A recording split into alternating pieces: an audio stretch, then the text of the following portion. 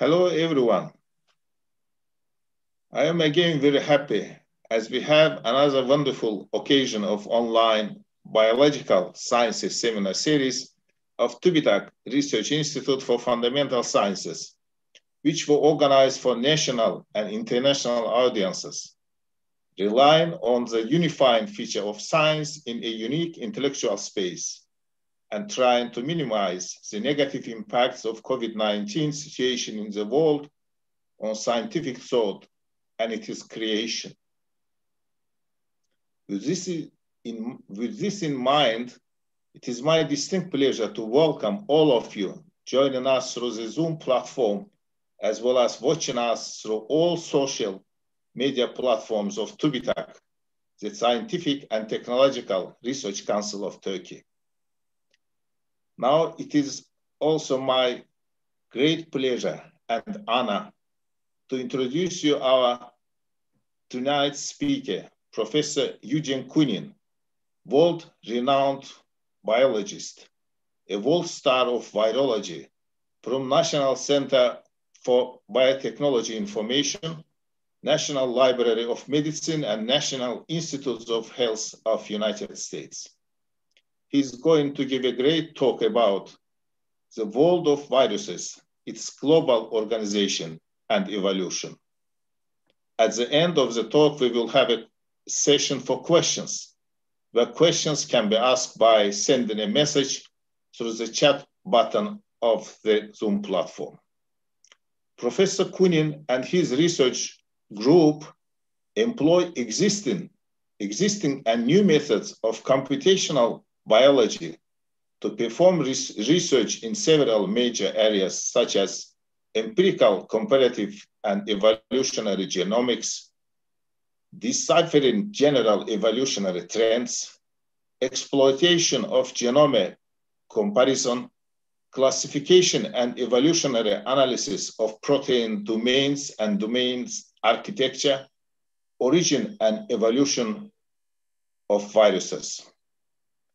Professor Koonin received his PhD in molecular biology in 1983 from the Department of Biology, Moscow State University. He was a research scientist at the Institute of Poliomyelitis of the Russian Academy of Sciences and subsequently a senior research scientist and laboratory chief at the Institute of Microbiology of the Russian Academy of Sciences. In 1991, Professor Koonin joined the National Center for Biotechnology Information of United States. He has a number of honors. In particular, in 2018, he received, along with Andrei Linde, Georgi Gamov Prize. And in 2019, he received honor as NIH Distinguished Investigator for his outstanding achievements. Professor Koonin is a member of American Academy of Microbiology, fellow of the American College of Medical Informatics, fellow of the American Academy of Arts and Sciences, a member of National Academy of Sciences of United States, and foreign associate of the European Molecular Biology Organization. At this point, I want to draw your attention the following words by Professor Eugene Koonin. Professor Koonin says, science is not just a job or even career. It is a way of living and thinking. It is effectively a devotion or dedication to creative but rational thinking.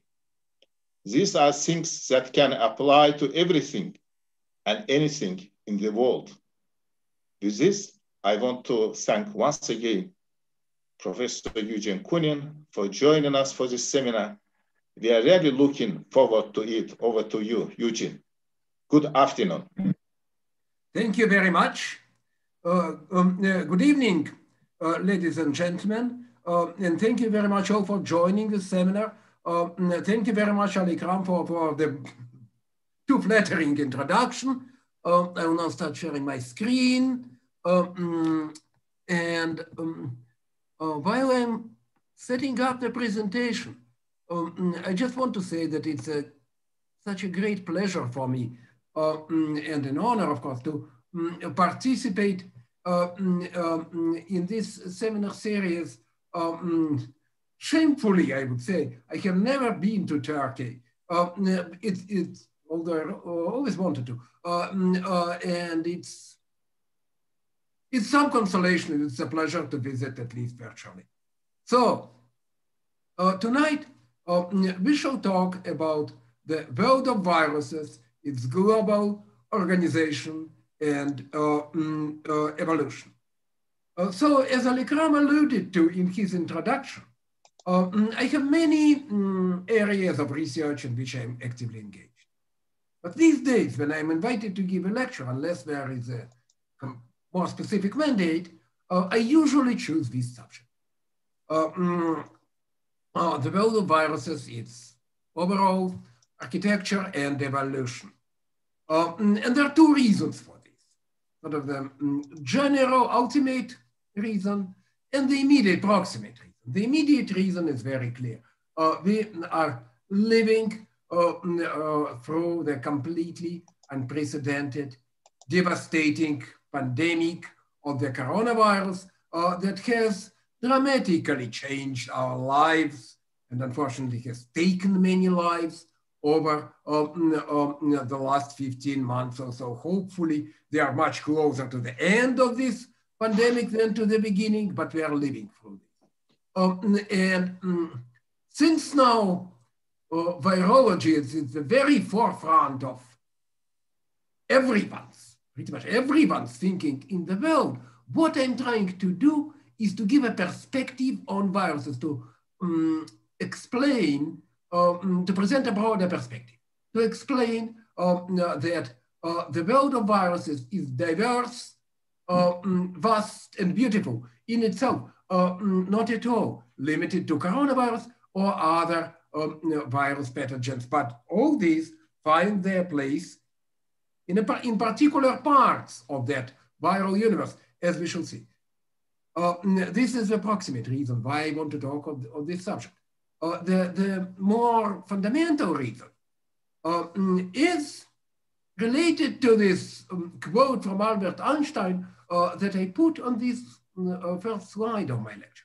Um, uh, the fact that the world is uh, comprehensible is a miracle, mm, wrote Einstein sometime after he completed the general theory of, theory of general relativity. Uh, mm, and indeed, uh, it's very striking. There are no miracles per se, uh, but, but it's very striking mm, when we start realizing that we could, in a certain meaningful sense, understand mm, a large part of the universe surrounding us. understanding uh, to a significant extent means putting in order understanding the general organization. And this is, as I will try to show in the next 45 minutes or so, um, the stage that we have approached in um, exploring the world of viruses. So I want to share uh, um, uh, this uh, emergent understanding with you. And the first thing that I want to see, um, uh, which is important to keep in mind, uh, is that uh, mm, viruses are the dominant entities in our biosphere. Outside of the virology, virus ecology, I strongly suspect people do not tend, tend to think that. that. Uh, mm, they would think that the dominant biological entities uh, mm, on the planet are animals, plants, perhaps bacteria for microbiologists, but not viruses. On the other, all, all those are crucially important.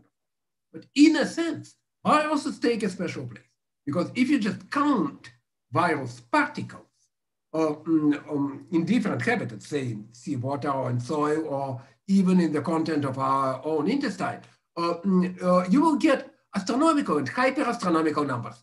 Uh, say in one cubic centimeter of uh, mm, uh, sea water, if you go to the mm, um, to the Mediterranean outside, outside your institute, mm, you will get something between a million and a billion virus particles from astronomical to hyperastronomical number, um, primarily uh, bacteriophages. Or um, typically, although not far from uniformly, um, uh, there are many more viruses per the same volume uh, in any habitat, two to uh, one to two orders of magnitude more than there are cells of any kind. And if we switch to Earth-wide counts, there are at any given moment mm, Uh, mm, uh, about uh, mm, 10 to the mm, 30, 31st virus particles. This is literally a hyper-astronomical number uh, because uh, there are about uh, mm, 10 to the power 24 stars in the observable part of our mm, universe. So the number of viruses on our planet at any given moment is about 10 million times greater. Mm. Something that is so abundant uh, simply cannot be uh, mm, uh, unimportant for understanding uh, mm, the nature, evolution, and ecology of life in general. But there are other reasons to believe viruses are crucially important. First of all, uh, mm, viruses, uh, in addition to their sheer abundance, viruses present the greatest genetic diversity observable on Earth. they present the principal uh, reservoir of novel genes, of genetic novelty. Uh, second of all, um, or second already, uh, maybe third or fourth, uh, mm, uh, uh, viruses are the emergence of genetic parasites, um, such as viruses, is an intrinsic feature or intrinsic trait of evolving life. Wherever you find life, you will find viruses. Uh, I will not really go for a theoretical argument uh, mm, um, mm, uh, in, in, in this lecture, requires a separate one. Uh, mm, uh, but uh, we, we, and others have developed a theoretical um, um, argument showing that emergence of viruses is inevitable in the course of evolution of life. And it goes hand in hand with empirical argument. That is, uh, whenever uh, any uh, organisms, any group of organisms, any type of cellular life forms is explored in any detail, you will find viruses integrated in the genome otherwise, but you will find viruses. Then again, this is not all um, uh, about the fundamental importance of viruses. Um, viruses have show unprecedented diversity of the cycles of um, uh, re uh, replication and expression of uh, genetic information. As first captured by the um, outstanding virologist and biologist uh, David Baltimore exactly uh, 50 years ago. Uh, oh, sorry. so in all cellular organisms, uh, mm, uh, the, mm, uh, mm, um, the strategy of genetic information replication and expression is governed by what is known by central dogma of molecular biology. Uh, the flow of genetic information goes from double-stranded DNA, which is our genome, uh, and bacterial genome and archaeal genome, uh, to various kinds of RNA molecules, some of which are structural and function by themselves, uh, and others, the majority, are messenger RNAs uh, that serve as template for translation for uh, protein uh, mm, uh, synthesis. Mm, this is a universal of cellular life. These three components, double-stranded DNA, RNA, and protein, mm, and information flowing in this direction, overwhelmingly. Viruses are not quite like that. There is a, granted, there is a large class of viruses, the largest altogether probably, uh, that follows the same uh, course of in, um, information transfer. Uh, but uh, there are also, in the world of viruses, also realized all, all other um, um, imaginable uh, ways of um, genetic information transfer. In particular, uh, there are viruses whose genomes represent not double-stranded uh, DNA, uh, but small single-stranded DNA uh, molecules uh, that are then converted into a double-stranded replicative form, uh, which in turn is used to produce messenger RNA for virus proteins. Then there is something even more unusual from the point of view of cellular organisms, namely RNA viruses. There are all three possible classes, they're abundant, they're common, um, as we now know, um, um, in, the, in the world. And they are all possible classes. The simplest positive sense RNA viruses, whereby uh, mRNA itself is encapsulated into, into and can be used directly in infected cells to uh, produce virus proteins. Uh, negative sense RNA viruses where it's a complement of the messenger RNA, which is included into virions. And finally, double-stranded um, RNA viruses where it's a hybrid of these molecules that is um, incorporated into the virus particles. And then uh, there are also reverse transcribing viruses uh, that um, incorporate uh, either um, um, positive sense RNA, single-stranded RNA, or double-stranded DNA into their viruses, but are unified by the fact uh, that they use reverse transcription, uh, that is synthesis of DNA on an RNA template uh, in the course of their replication. In other words, crucially, uh, mm, among viruses, they find effectively all imaginable diversity of possible cycles of uh, mm, uh, biological information uh, mm, replication and transfer,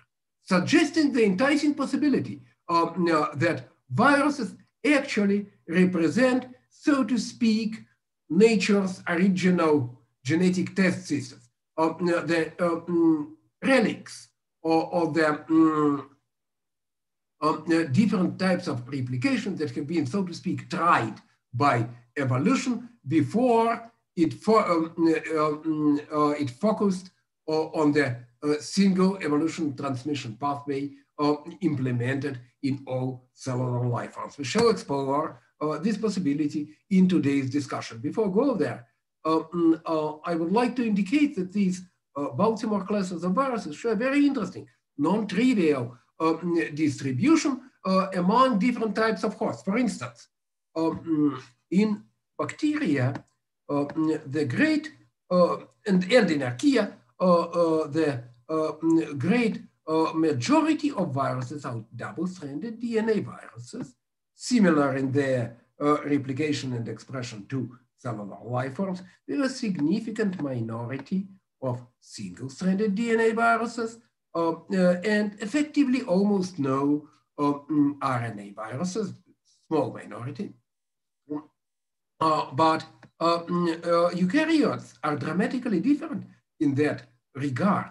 Uh, the majority of viruses in animals, including ourselves, and especially in plants, are actually RNA viruses, mostly positive sense, but also others, as well as reverse transcribing viruses whereas Uh, DNA viruses represent a minority, uh, albeit significant. Uh, so this rather striking pattern of the distribution of viruses in the biosphere requires an explanation. We are trying to find it. So let us first discuss the origins of viruses. Uh, undoubtedly, uh, one of the most uh, fundamental deep problems uh, in, I dare say, definitely in evolutionary biology, and I dare say in all of uh, biology.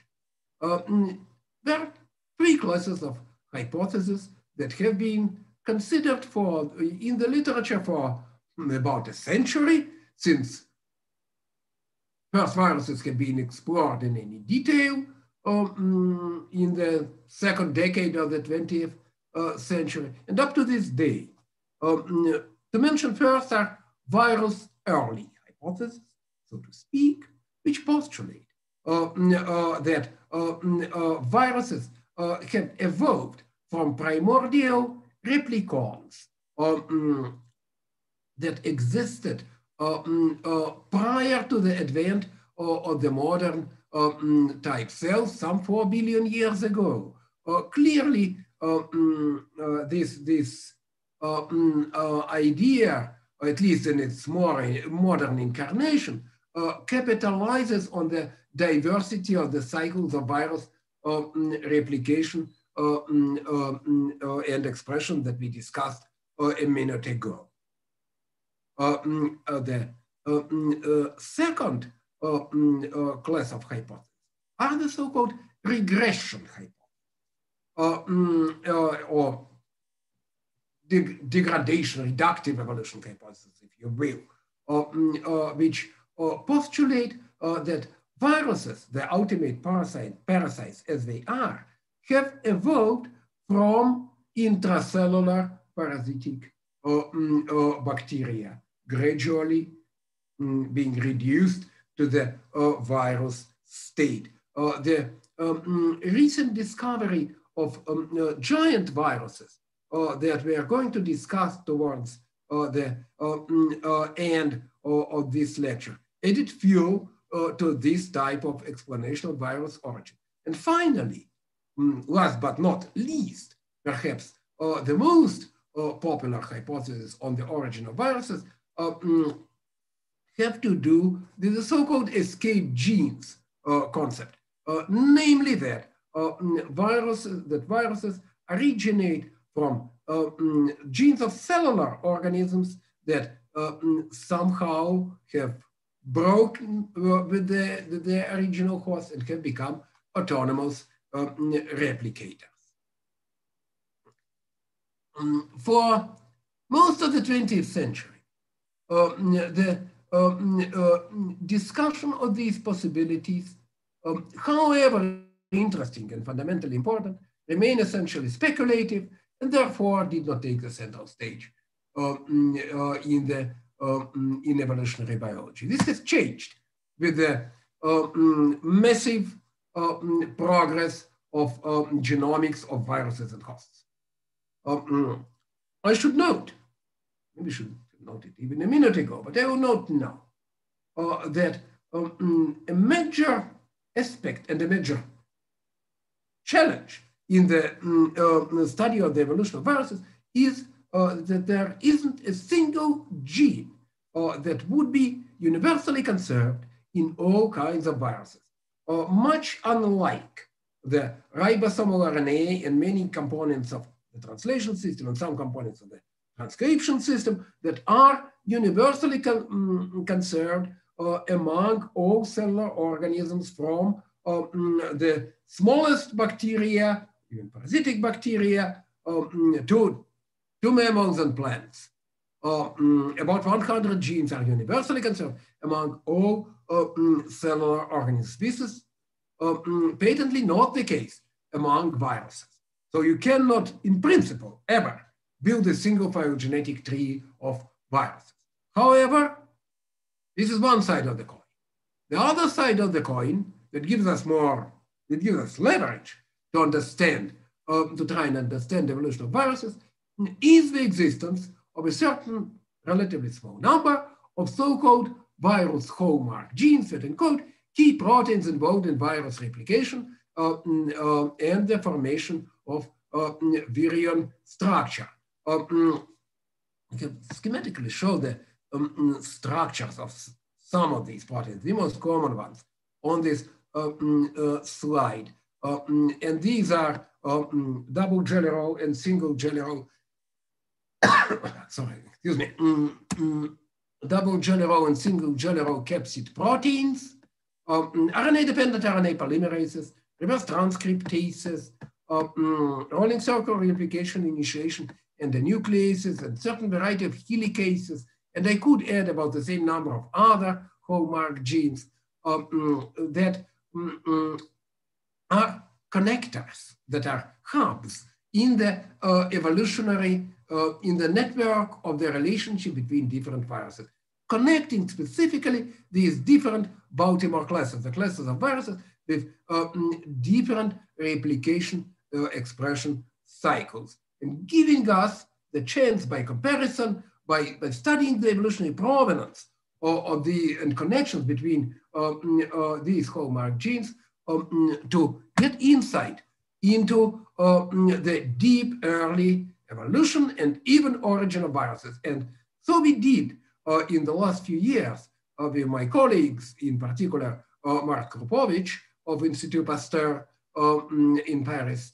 Um, we undertook a concerted effort um, to look into the deep roots of the proteins uh, that mediate uh, replication and structure formation in different classes of viruses. and so to begin with the replication modules, um, be, behind and underneath uh, the remarkable diversity of these replication machineries, uh, we glean extreme uniformity and, in fact, simplicity.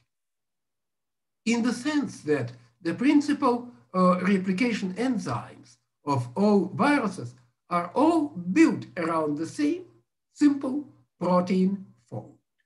The so-called RRM or RNA recognition motif uh, domain, which is schematically shown right here. Uh, uh, this is a very simple, basic arrangement of these four beta strands decorated with these two alpha helices, sometimes with additional embellishments, of course, but this is the core um, uh, structure that is in the heart of all mm, uh, mm, principal replicate um, enzymes that are involved in the um, initiation and elongation of the uh, replication of uh, virus genomes, both RNA and DNA. Uh, so uh, this is a very deep evolutionary root. Uh, uh, this is one of the most universal nucleic acid binding domain um, on domains on Earth, which um, gives us some confidence in that uh, uh, the roots of the of virus replication go to the primordial RNA world, where, uh, as, it seems overwhelmingly likely, this domain emerged originally as a cofactor of ribozyme RNA polymerases and subsequently evolved various kinds of enzymatic greatly facilitate and accelerate replication. They then uh, looked uh, mm, uh, in a similar manner into the roots of virus morphogenetic uh, modules, or that is the structural proteins. Or the capsid proteins and other uh, major structural proteins of virions.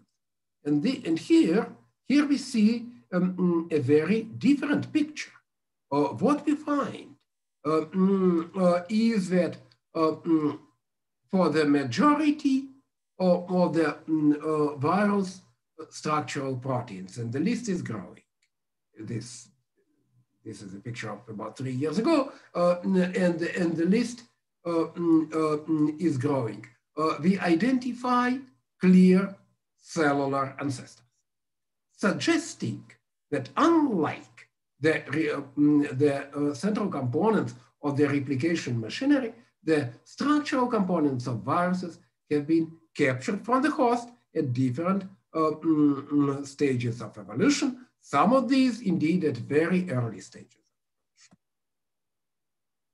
So taken together, uh, mm, uh, these uh, observations lead us to the unifying, so to speak, chimeric scenario of uh, virus origin, uh, whereby viruses evo have evolved uh, on a certain number of independent occasions, maybe a couple dozen independent occasions in the history of life, um, um, as a result of primordial replicators recruiting uh, uh, virion, major virion structural components from their host. So mm, this concept of the virus origin, which mm, I strongly believe is now best compatible with all the available data, is in a sense a hybrid uh, between virus early and escape genes, concepts of virus origin and evolution, those that I showed a few uh, um, um, slides ago. Slides ago. Um, so I think we now have this kind of good window of um, revealing the uh, uh, complex origin of viruses uh, um, during the uh, evolution of life, starting the, the primordial RNA world, but including also much later events. Okay. Uh, mm, so this was our glimpse into the deep past, into the uh, mm, origin and the earliest evolution of viruses. And now we will go uh, mm, uh back to the present uh, and talk for a moment about more uh, practical matters. As I mentioned uh, mm, in the beginning, uh, mm, uh, we now have a much better grasp of the world of virus. As it happens almost all the time, uh, at least in much of science, at least, and especially in biology, uh, mm, this progress Uh, mm, has been driven by empirical, by accumulation of empirical data. In particular, uh, mm, uh, by mm, accumulation of virus genomic sequences, uh, which uh, in the last few years has been dramatically advanced by metaviromics. Uh, mm, that is by mm, sequencing virus genomes directly from, from the environment, bypassing the, the limiting stage of growing viruses on, um, on a host uh, in the laboratory and thereby uh, giving us a chance um, to look at unbiased, um, to look at the diversity of viruses that actually exist on this planet in different parts, on different parts of this planet, uh, in an um, unbiased uh, manner.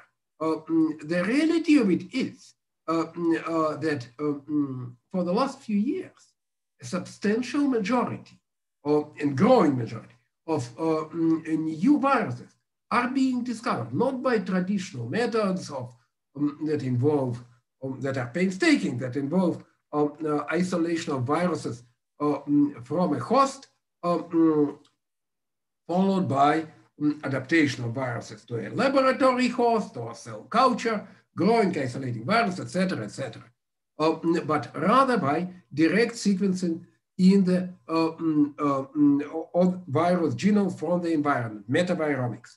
Uh, so prominent uh, mm, and dominant uh, metaviromics have become that the International Committee on Taxonomy of Viruses has actually made a revolutionary step of mm, admitting the discovery of new, mm, official admitting the discovery of new viruses and new groups of families and higher groups of uh, viruses purely through metaviromic uh, sequencing. This slide will show you why this radical step has been inevitable. Uh, this is also a somewhat outdated slide, about three years old, uh, which uh, shows uh, the contribution of uh, metaviromics um, to sequencing uh, to the known diversity of virus genomes. So on the horizontal axis here, we have a, prevalence of different viruses um, in, in different locations in the world ocean. This is data from the Tara mm, ocean metagenomic expedition. so in how many of those stations in the ocean the given genome has been detected, uh, and this is a log, uh, log of uh, abundance.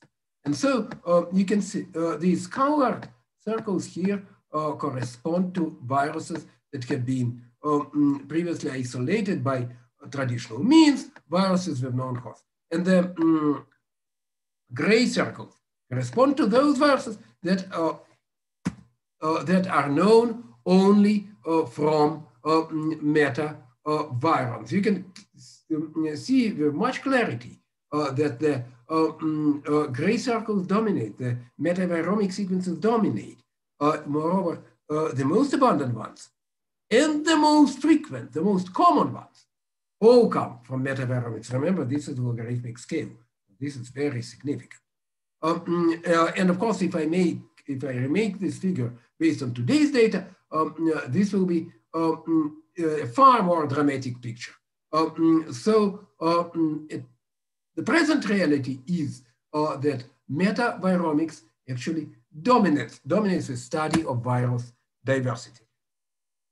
And over the last, uh, the next uh, several minutes, um, we shall explore the expansion of different parts of the virus world brought about primarily uh, by metaviromics. Hmm. Let's start with RNA viruses. Um, so some three years ago, my colleagues and I uh, have uh, harnessed the uh, available um, um, genomic data, uh, primarily indeed, as discussed, coming from metaviromics to try and construct the comprehensive phylogeny uh, comprehensive, reconstruct the comprehensive evolutionary history of uh, mm, RNA of, of the global RNA uh, viral. Uh, here it's very important to, uh, to note uh, that although there is not a single universal phylogenetic marker among viruses, there is one, fortunately, among all RNA viruses. The RNA-dependent RNA polymerase gene mm, encoding the enzyme uh, responsible for the replication of virus RNA genome and its transcription to produce uh, messenger um, RNAs is universally conserved uh, among RNA viruses and serves as the, so to speak, 16S RNA uh, for this part of the virus world. So you, you, can make a single phylogenetic tree, which we try to do.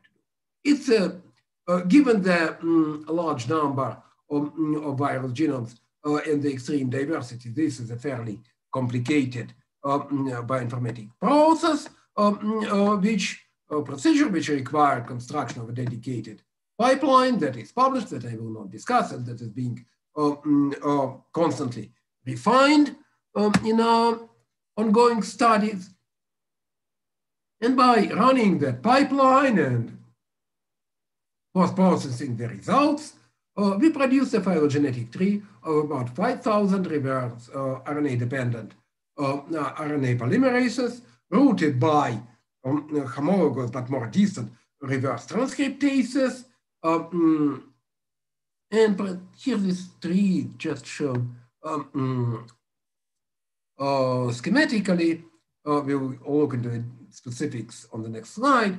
Uh, and I just want to um, uh, indicate uh, the uh, mm, contribution of metaviromic sequences shown in blue here that are here about 50% of, the um, RNA-dependent RNA polymerases, of distinct RNA-dependent RNA polymerases.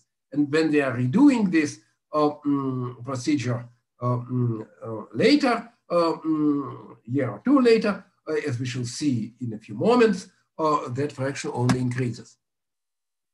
So this is the um, schematic of the uh, resulting universal phylogenetic tree encompassing all the non-diversity of um, RNA uh, viruses.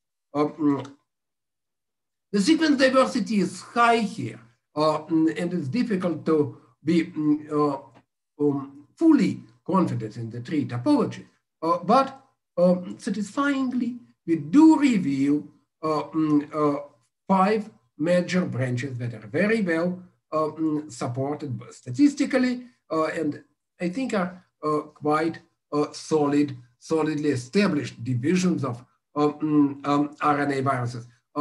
three of these comprise positive, primarily positive sense RNA viruses with some um, admixture in the middle of this group of double-stranded uh, uh, RNA uh, viruses. The fourth consists solely of double-stranded RNA viruses, and the fifth includes negative sense RNA viruses that grow from the middle uh, um, of the double-stranded RNA virus group. Uh, so uh, according to this tree, and I think this can be considered firmly established, the positive sense RNA viruses, both the simplest um, mm, replication expression uh, cycle came first, um, and they came first in prokaryotes, because this deepest group includes uh, this family Leviviridae, which are RNA bacteriophages, such as the famous Q beta and MS2, uh, from which all the enormous diversity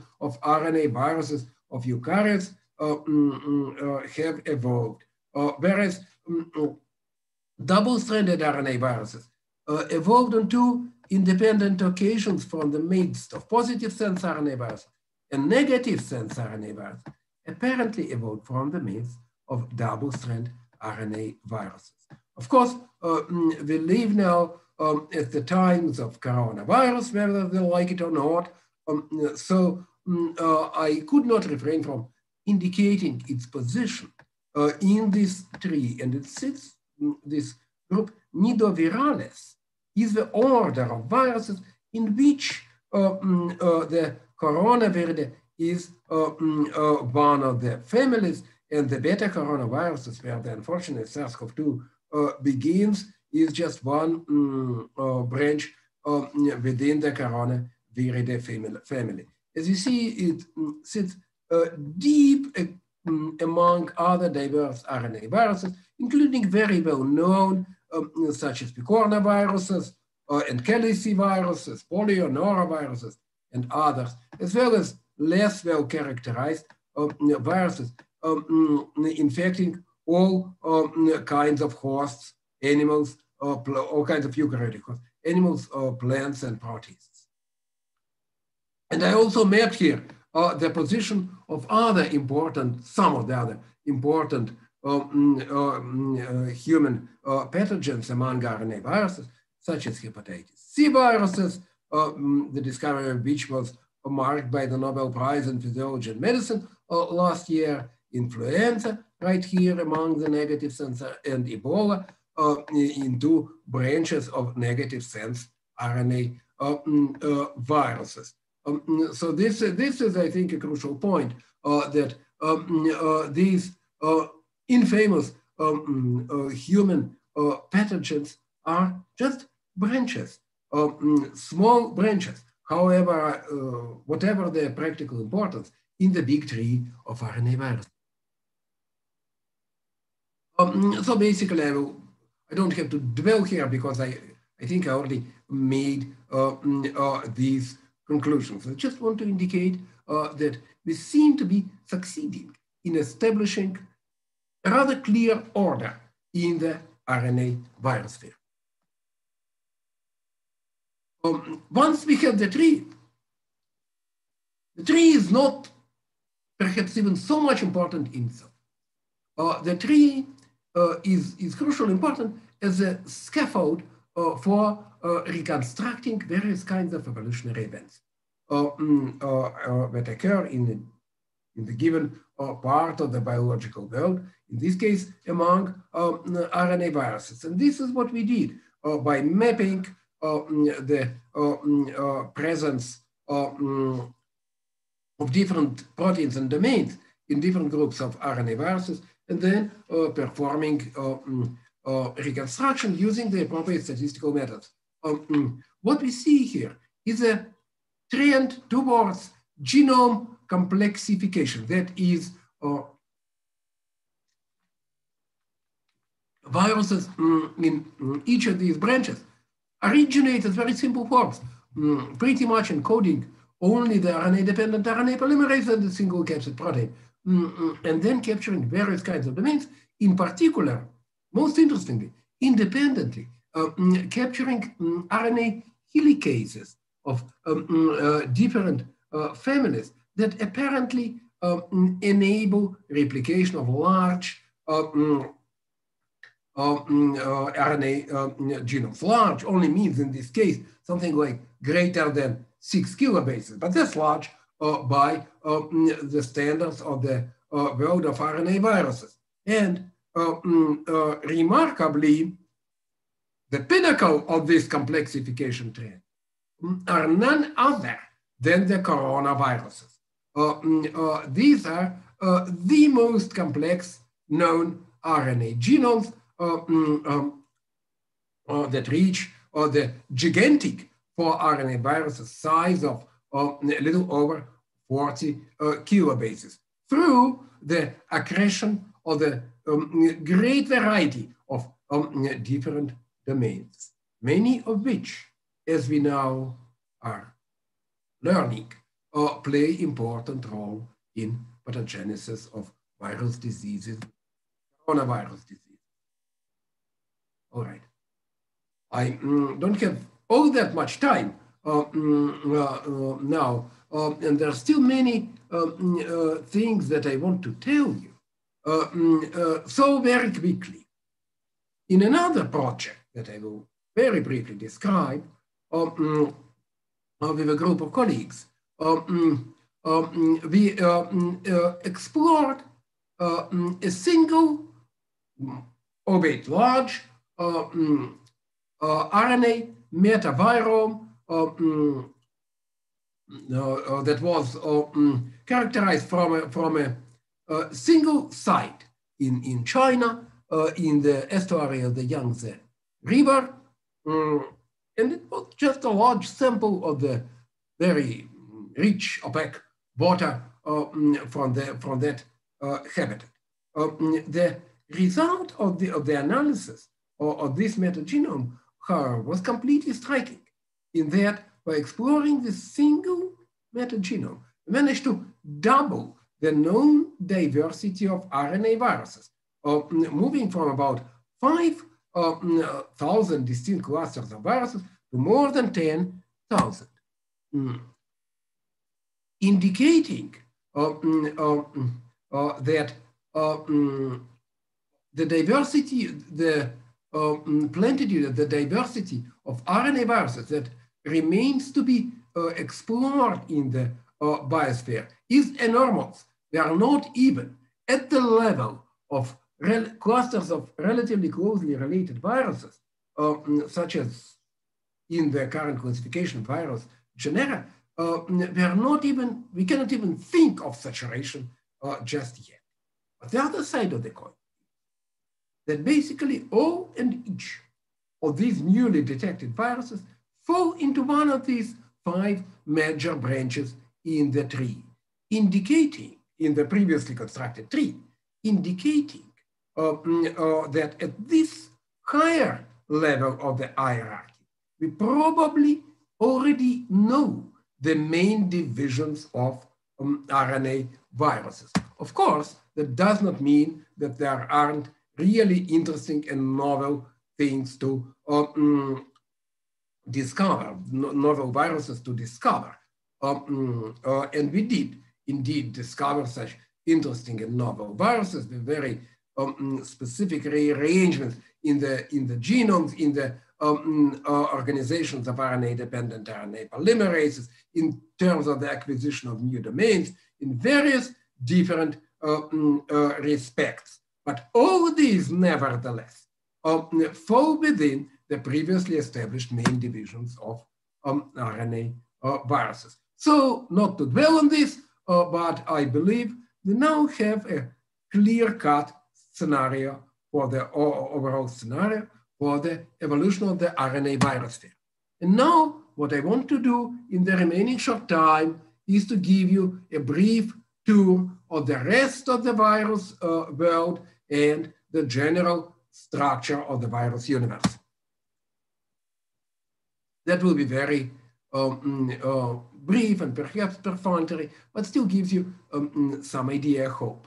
Uh, so the reverse transcriptase virus sphere, uh, retroviruses such as the infamous HIV, hepatinoviruses such as the equally infamous hepatitis B virus, and some less known reverse transcribing viruses that are not found in any um, uh, prokaryotes, but are virtually universal um, as, as a um, class, as a group among eukaryotes. The main message here uh, mm, uh, is about the same as we had with RNA viruses, namely that they can readily and reliably establish the overall structure of the phylogenetic tree based on the phylogenetic analysis of the reverse transcriptases. The single-strand DNA virosphere. Uh, mm, the small viruses uh, mm, that uh, mm, uh contain uh, uh, single-stranded DNA genomes, um, usually, but not always, uh, circular and usually, uh, mm, perhaps always, uh, replicating through the so-called rolling circle replication mm, mechanism. Um, mm, working with Mark Kropovich, we um, um, discovered uh, a very interesting route of evolution of these uh, viruses, which appear to have originated on uh, multiple independent occasions from plasmids, not viruses, but plasmids, replicating by these small plasmids, replicating by this rolling circle mechanism through um, capture of capsid proteins from eukaryotic RNA viruses, the kind of viruses we have been talking uh, about uh, before. So uh, this chimeric um, uh, scenario of evolution uh, recapitulated on several independent uh, occasions. Most interestingly, um, these single-stranded DNA viruses also gave rise to small double-stranded DNA viruses, which include important pathogens such as human papilloma. Finally, uh, the double-stranded DNA virus sphere, which is more complex than any other um, uh, part of the um, virus for which uh, there is no universal marker like the RNA-dependent RNA polymerase in the RNA virus sphere. And therefore, we have to turn to different methodologies of um, uh, evolutionary analysis, um, uh, such as the analysis, the study of networks of gene sharing. Mm, by exploring uh, mm, networks where genomes of viruses are connected together through um, shared homologous genes, mm, we identify using the appropriate methods for network dissection into modules these three major super modules of double-stranded DNA viruses and these um, two smaller uh, modules. Um, the two supermodules are, include uh, very well familiar tailed bacteriophages such as T4, T7, lambda, etc., etc., um, which are, surprising or not, uh, related to the um, animal herpes viruses, uh, which include uh, other very important pathogens. Um, and the second um, supermodule is the one that unites viruses with the so-called double jelly roll uh, major uh, capsid protein, uh, including uh, mm, such uh, mm, infamous pathogens and smallpox viruses and the related giant viruses. The smaller two modules are the polyoma and papilloma viruses, with which we are already familiar, as well as unusual viruses infecting thermophilic archaea, uh, and these are effectively disconnected from either of the two supermoons. I think we have good ideas already on the roads of evolution of these viruses. Unfortunately, I'm afraid there is no time to discuss this. Um, I wanted to briefly um, touch upon the giant viruses, such as Mimi viruses and Pandora viruses, uh, which be have become quite famous over the last decade or, or so, um, and that uh, has been touted as a potential fourth domain of life, possibly originating independently from um, already extinct form um, of cells different from bacteria, eukaryotes, or archaea. What we show by reconstructing the evolution of these viruses is that such Mm, uh, evolutionary scenarios, however potentially interesting, are groundless, and that these giant viruses um, have evolved by capturing multiple genes from the host from much simpler and more typical viruses containing this, uh, that all belong to this uh, double jelly roll capsid protein supermodule of DNA viruses. The main trend here, like in RNA viruses, but on a different scale, is genomic complexification by capturing genes from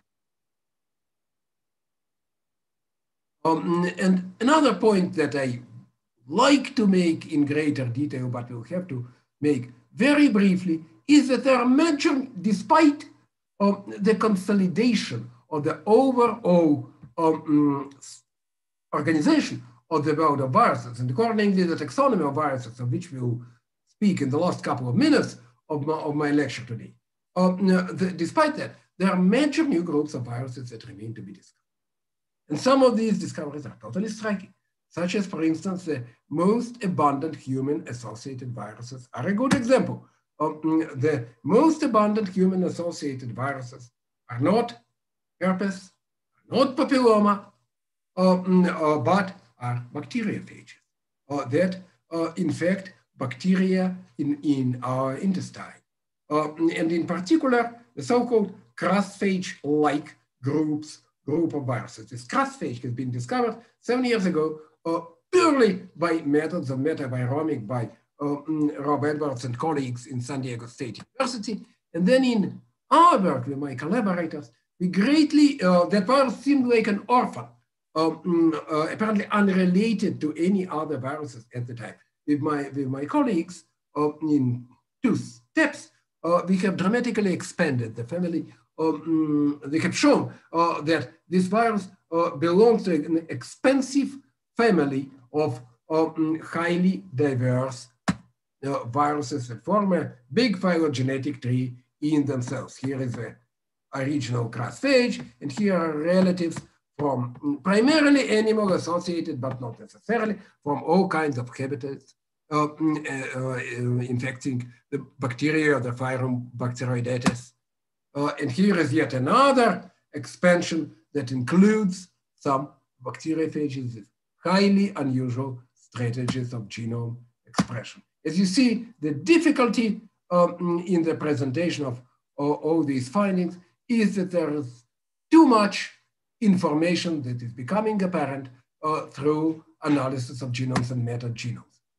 Uh, so to conclude, uh, mm, I want to outline the global architecture and megataxonomy of the virus world.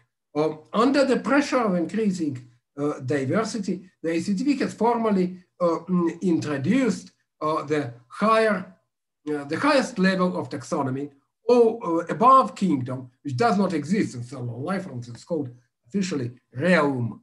Um, and therefore, these uh, mm, major realms of, mm, viruses, each quite large and diverse. Uh, Ribaviria, uh, which includes both RNA viruses and reverse transcribing viruses, Monodnaviria, single-stranded DNA viruses, uh, mm, and, and two uh, mm, realms of double-stranded DNA viruses that differ, uh, that appear to be unrelated, that differ completely uh, in terms of their um, structural modules, the Plodnaviria and Varidna um, uh, viria. Uh, together, these four realms incorporate the, great, the huge majority of all known viruses, but um, very recently, um, already this year, um, two additional realms have been formally recognized, one of which is Rebosi uh, viria, uh, which, consi uh, which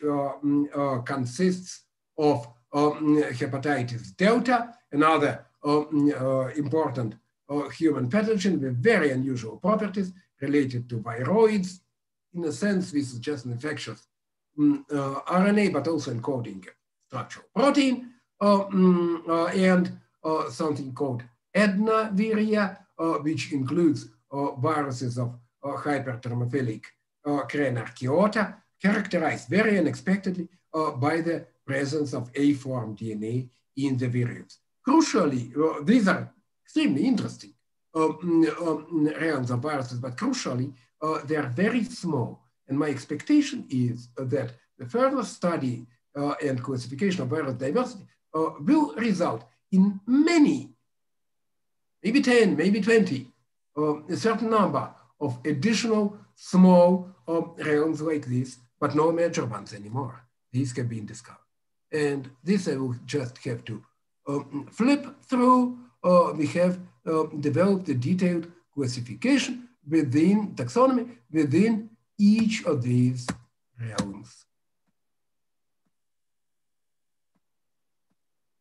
Finally, to mention, to stop on the global network of evolutionary relationships in the virus world. I think it's most convenient um, and most informative to show this uh, mm, through um, uh, three layers um, of entities and information.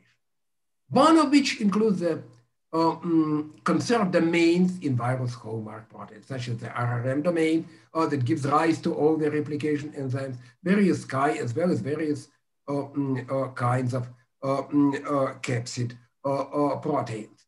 the other level derived from this first one includes the, these monophyletic realms of viruses. And the third level includes these Baltimore clusters that differ in their strategies of genome replication and expression.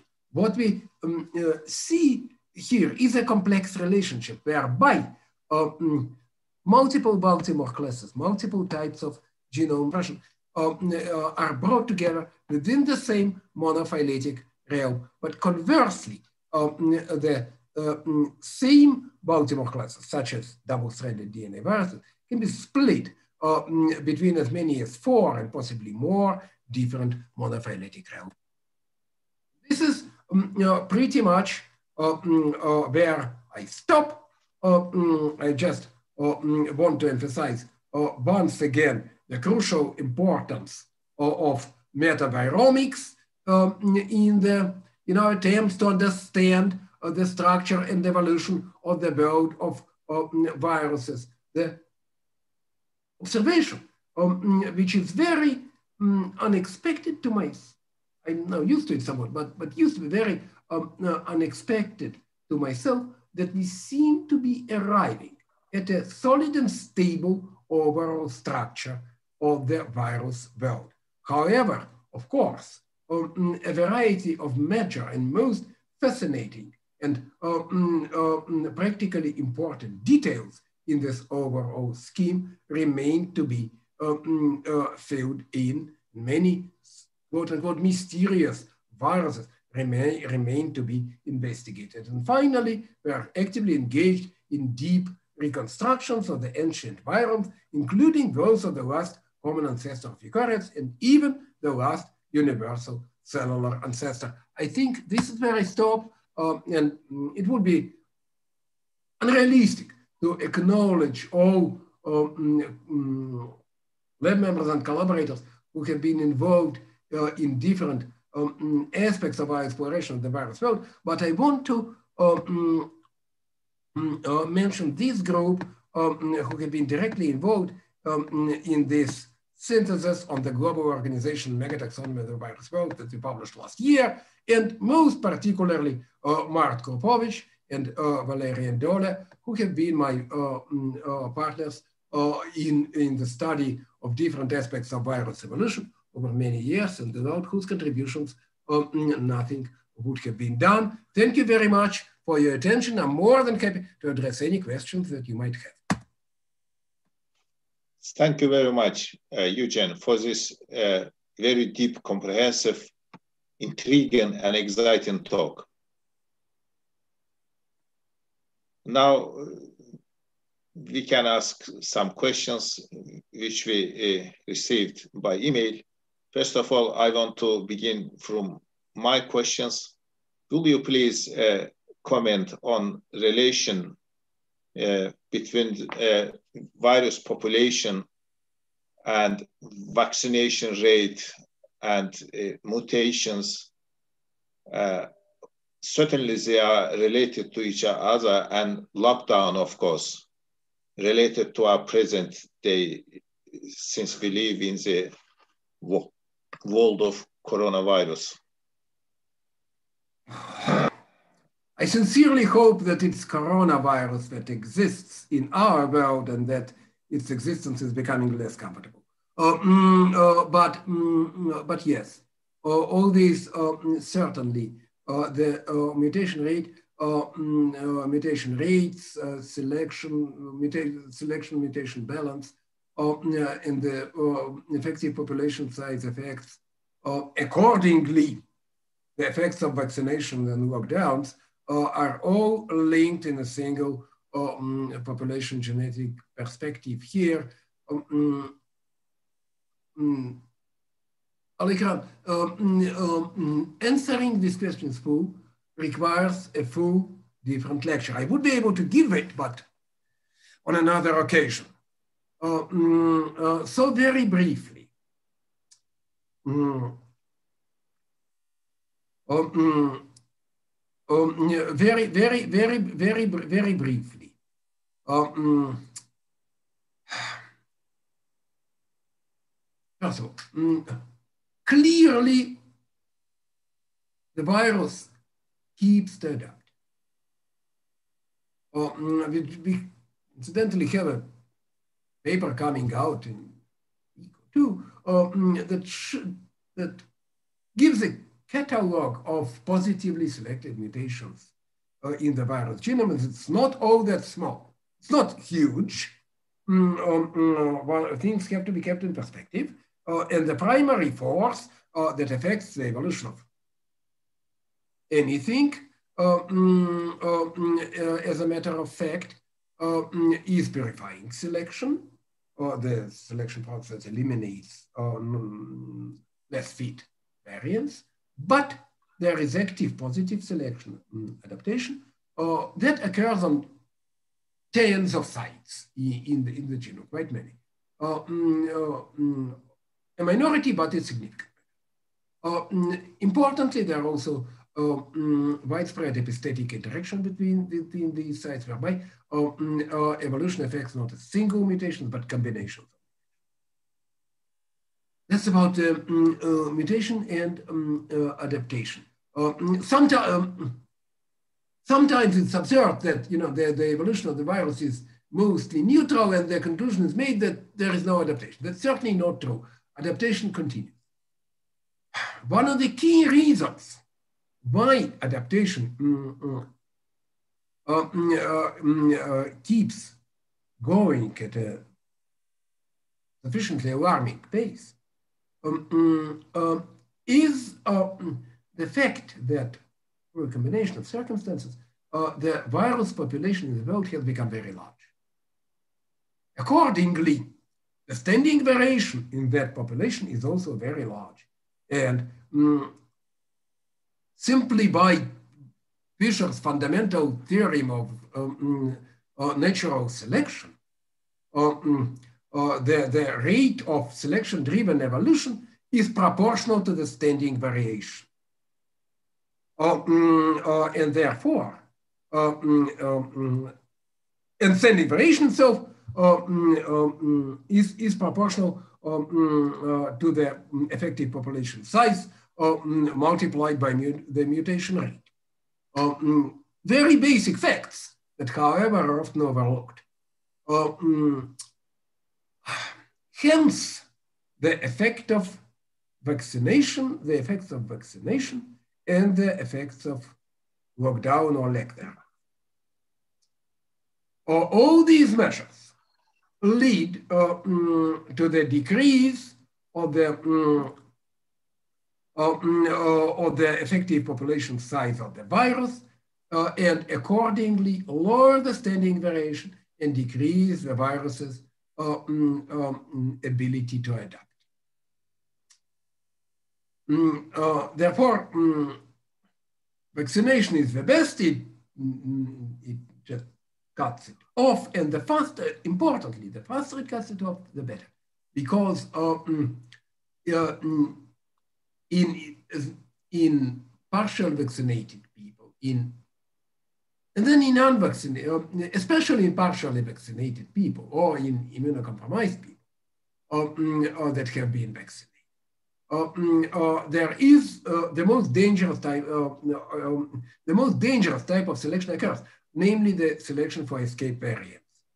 so far, um, variants that escape the vaccine, so far, we have not, fortunately, observed um, escape variants with very high, uh, efficient escape variants with very high, uh, which suggests that um, um, these evolutionary pressures to avoid the neutralizing antibodies while retaining the ability to uh, um, efficiently bind uh, the receptor are not very easily compatible. But nevertheless, uh, and this is calls for some degree of um, in particular with respect to the efficiency of the vaccination campaign. Um, but uh, not a reason to relax because we may still see such variants.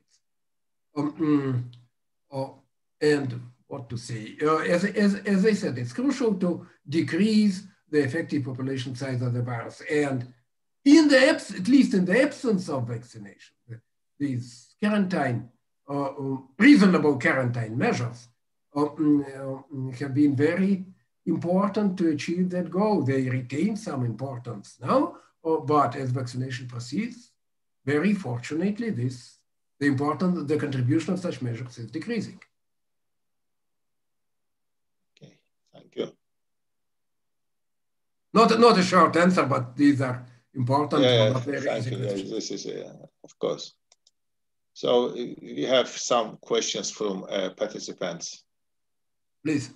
Uh, do evolutionary mutations display reversibility? In, in principle, yes, there is no, nothing intrinsically uh, irreversible about uh, mm, mutations.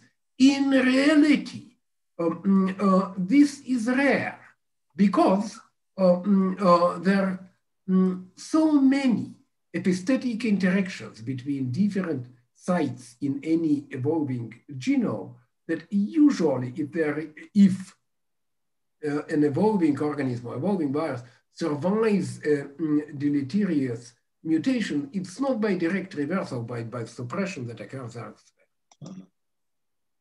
Thank you. The next question uh, is the following. Did the observed SARS-CoV-2 mutations display correlated patterns? Well, I already answered that. Yes, they do. Mm, uh, quite extensive pat patterns of correlation between different mutations, in particular between some mutations, uh, both um, for mutations within the uh, spike protein genes, within the nucleoprotein genes, and between those. Okay, thank you. Within the type 1 envelope viruses, should we worry about future outbreaks from other family members as SARS-CoV-2? Uh, we absolutely and necessarily should. Mm, mm, question is uh, mm, uh, which viruses uh, mm, uh, and certainly the mm, coronaviruses are a reservoir, but so are the so are flaviviruses. Mm, the, the, these, these diseases like dengue and West Nile, etc., uh, mm, uh, tend to be uh, mm, less devastating. Uh, they, they, can be terrible on an individual basis, but less devastating epidemiologically because these are vector transmitted viruses. Um, mm, if, if a virus comes from um, the flaviviruses that somehow um, becomes um, human to human transmittable, that's imminent danger. So far, fortunately, we have not seen uh, many uh, mm, uh, such uh, mm, uh, mm, Uh, mm, uh, mm, uh, viruses. and, and then, and then negative strand RNA viruses, in particular new mm, um, species and strains of filoviruses related to Ebola and Marburg as well. They all certainly require watching.